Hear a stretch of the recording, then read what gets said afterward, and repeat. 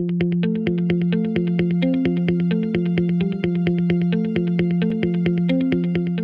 um, my name's Phil Council. I'm from uh, Asia Pacific Aerospace. We're based in uh, Pinkenba, Queensland.